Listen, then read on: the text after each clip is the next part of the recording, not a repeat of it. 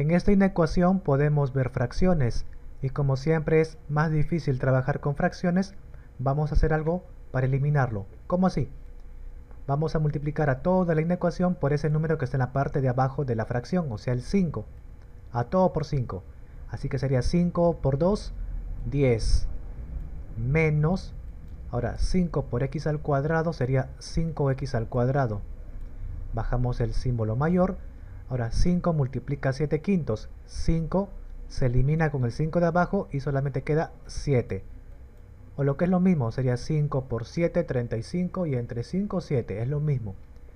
Ahora, en esta inecuación, como vemos, hay un solo término que tiene la variable x, entonces podemos despejarlo. Es decir, tenemos que dejarlo solo. Para ello este 10 lo voy a trasladar para el otro lado. Acá se queda el 7 y este 10 que como acá no hay nada se sobreentiende que es un más, va a pasar para el otro lado y sería menos 10. Siempre pasa con signo contrario. Así que por acá se tiene menos 5x al cuadrado mayor que 7 menos 10 es menos 3. Ahora, el que le acompaña al x cuadrado es un número negativo, ¿verdad? Tiene que ser positivo. ¿Por qué? Porque en las inecuaciones este número que está multiplicando para que pueda pasar a dividir debe ser positivo, ¿de acuerdo? En las inecuaciones. Y para que se convierta en positivo vamos a multiplicar por menos a ambos lados, o sea, a todos. Sería por ley de signos, menos por menos, más. O sea, va a quedar solamente 5x al cuadrado. Ahora, menos por este menos es más, o sea, solamente va a quedar 3. Y como hemos multiplicado por un número negativo, ahora este símbolo va a mirar para el otro lado. Ya está. Ahora sí, el 5, el que está multiplicando al x al cuadrado es positivo, así que ya podemos trasladarlo al otro lado dividiendo, o sea 3 sobre 5. Ahora, propiedad sx al cuadrado es igual a valor absoluto de x al cuadrado. Así que reemplazamos, así que acá va a quedar valor absoluto de x al cuadrado menor a 3 quintos. ¿Por qué se hacía esto? Porque así me aseguro que este número sea no negativo. Entonces este exponente 2 puede pasar para el otro lado como raíz.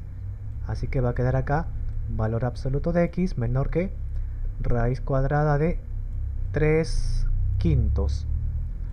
Ahora tenemos que utilizar la propiedad de las inecuaciones con valor absoluto. ¿Qué nos dice la propiedad? Cuando se tiene valor absoluto de un número menor que un número, la propiedad nos dice lo siguiente, si solo si el b mayor a 0 y ahora el a se coloca por acá mayor que menos b pero menor que b. Y cerramos paréntesis. Acá voy a reemplazar. ¿y quién es quién? el b es esta raíz de 3 quintos. El a es el x así que reemplazando acá.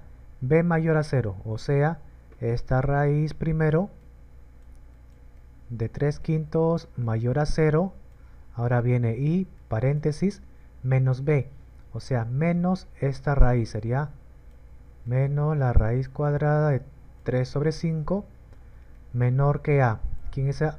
el a es el x y esto va a ser menor que el b. El b que es esta misma raíz 3 sobre 5 ya está Ahora, por acá vemos que este número siempre va a ser mayor a 0, ¿verdad? Esto siempre se va a cumplir.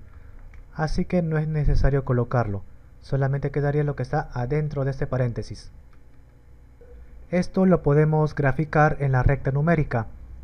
En la recta numérica siempre se ubica de menor a mayor.